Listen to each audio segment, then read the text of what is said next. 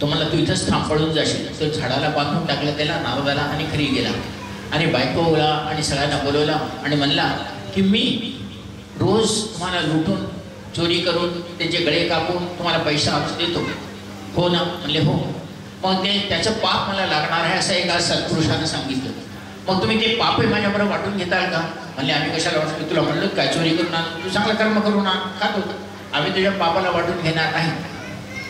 तेव्हा त्याला त्या रत्नाकर डाकूला वाटलं की वा काय संसार आहे. आणून द्यायला खायला तयार आहेत पण माझ्या पाया माझ्या पापामध्ये ह्याच्यामध्ये भाग घेण्याला तयार नाही. आणि तो आला आणि म्हणला की ते माझ्या पापामध्ये भाग घेणार नाही. मग तू हे पाप कशाला करतोस? तू एकटा माझ्यासारखं जगू शकतोस. राजाची जिंदगी जगू शकतोस. तू श्रेष्ठ जीवन जगू शकतोस. म्हणलं हो असं होऊ शकते का? म्हणले हो होऊ शकते. आणि त्या नारदानं त्याला नारायण हा मंत्राचा नारायणाचा जप दिला. तोही दिवस वसंत पंचमीचा दिवसच होता आणि तो नारायण जप करू लागला. नारायण जप करता करता श्रेष्ठता झाली त्याच्यावर वारुड वाढलं. आणि त्यानंतर नारायण प्रत्यक्ष झाले. तर नारायण प्रत्यक्ष झाल्यानंतर म्हणाले मी माझ्या पहिल्या गुरुला नमस्कार करतो. हे नारायणा मी तुला नंतर नमस्कार करतो. मला ह्या संसारामध्ये यश कीर्ती आणि हे कसं राहते हे मला माहीत नाही. मी आजपर्यंत चोरी लूट पाठ हेच करून जगलो. मला त्याच्याशिवाय दुसरे मला दुसरं ज्ञान नाही. मला यश काय माहीत नाही धन काय माहीत नाही ऐश्वर काय माहीत नाही शांती काय माहीत नाही. माझ्या बायकोपुरांनी सुद्धा मला सांगितलं की आमच्या पापामध्ये मग मी एवढा पापी.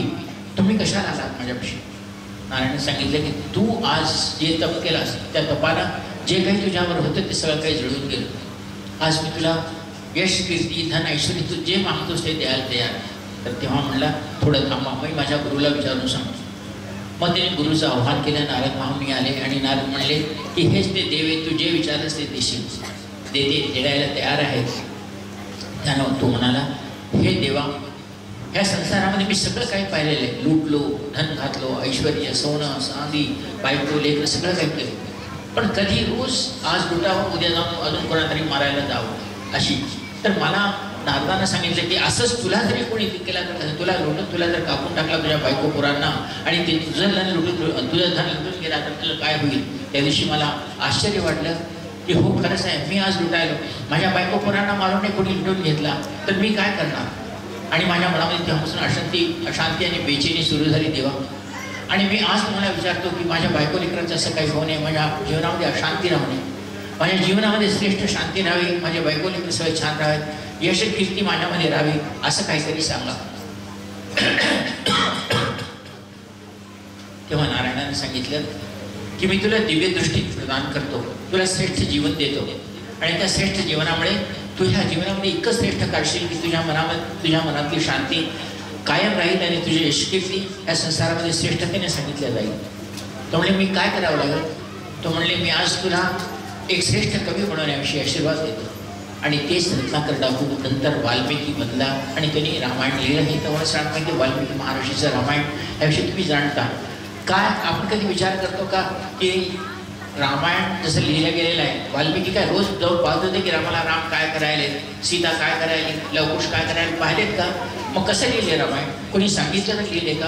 कोणी सांगितलं लिहिले तर इतकी सुद्धा लिहित असेल का? नाही. तर ह्या गुरुकृपेनं त्यांना दिव्यदृष्टी प्राप्त झाली आणि त्यांनी जेव्हा रामाचं स्मरण केले तर रामाच्या पहिल्या जीवनापासून आखरीपर्यंत त्यांनी जे काही लिहिलं आणि ते रामायण लिहून काढलं आणि त्या रामायणामुळे आज ते किती यशस्वी आहे तुम्हाला माहीत आहे. अशी आत्मा आज वसंत पंचमीची श्रेष्ठता आहे.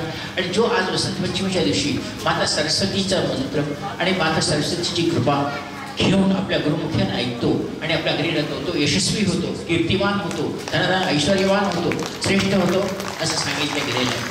आज तो श्रेष्ठ दिवस माता सरस्वतीचा जन्मदिवस ही वसंत पश्चिम मनवला जातो. असाच एक व्यक्तित्व झाला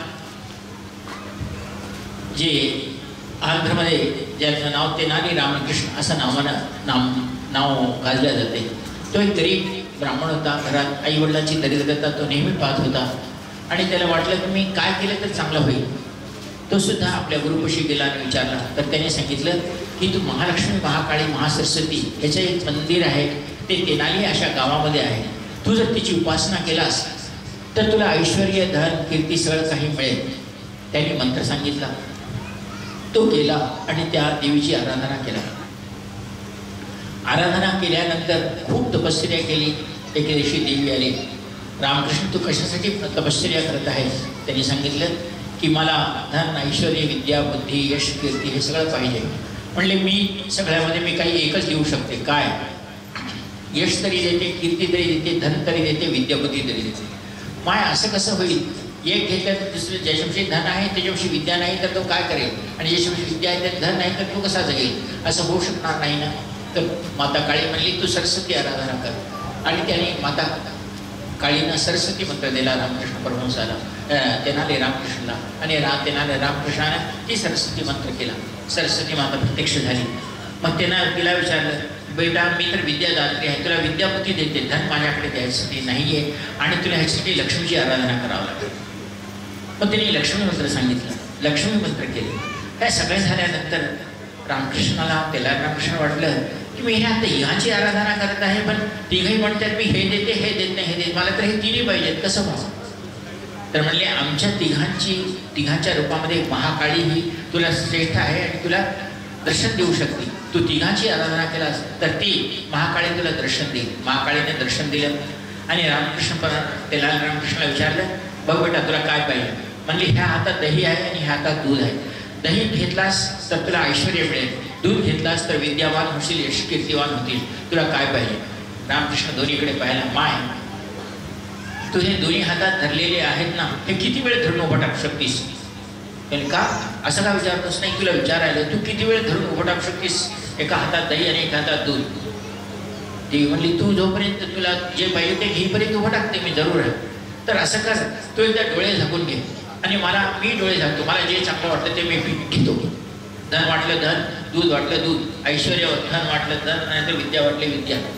तिने काय केलं? माता काळी म्हणली भक्त आहे असा विचार आहे तिनं डोळे फुटले. हा काय केला? दोन्ही दही पिऊन टाकला दूधही पिऊन टाकला. माता काळी पाहिजे अरे अरे तुला दोन्हीमध्ये एकच घे म्हणले दोन्ही. माय मनुष्य कसा जगल? विद्या असेल तर धन नाही धन असेल तर विद्या नाही. ह्या दोन्ही असेल तर संसारामध्ये काही श्रेष्ठता आहे. मी तर पिऊन टाकलो. आता म्हणली तू इतका हुशार आहेस असं मी समजले तू तुझी हुशारी माझ्यासमोरच दाखवलास. म्हणली तुला आता एक परीक्षा ठेवते काय? तू इथून इथला जो राजा आहे त्या राजाच्या मंदिरामध्ये जा. आणि तू त्या राजाला प्रसन्न करून दाखव. तर तुला हे दही आणि दूध पिण्याचे धनही मिळेल ऐश्वर आणि विद्याही मिळेल. तू हे करून दाखव की तुला हे होऊ शकते. तर माय तुझी कृपा आहे तू जरूर दाखव गेला राजाच्या मंदिरावर राजाच्या दरबारामध्ये गेला. शिपाही अडवले. मध्ये जायचं नाही. अरे ते म्हणले मला खूप काम आहे. राजाने मला बक्षीस देण्यासाठी बोलवले आहे आणि मी जातो. शिपाई लालची होते म्हणले बरोबर आहे तुला पाठवतो पण एका गोष्टीवर. तुला जे बक्षीस मिळेल त्या बक्षीसमध्ये अर्ध आम्हाला द्यावं. देतो का? म्हणजे बरोबर देतो का देत नाही? तुम्हाला देतो तुम्हाला पाठवा तर खरं. गेला. मध्ये गेल्यानंतर राजाच्या दरबारामध्ये उभा टाकला तर तिथे एक दुसरे एक मोठे कवी त्या राजाच्या मंत्रीच्या रूपामध्ये होते. ते तात्या नावाने जा जाणले जात होते. तेव्हा काय हो काय घडत होतं?